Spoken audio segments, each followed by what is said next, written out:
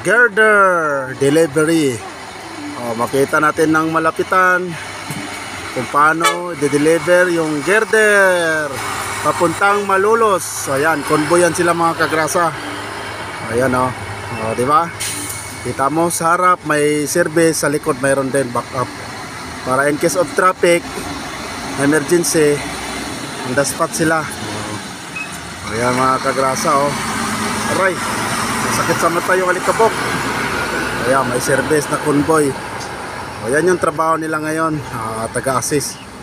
Ayan, sundan natin. Andito yan sa ano, walang traffic. Oh. Ayan. Ayan na, convoy yung isang sportage.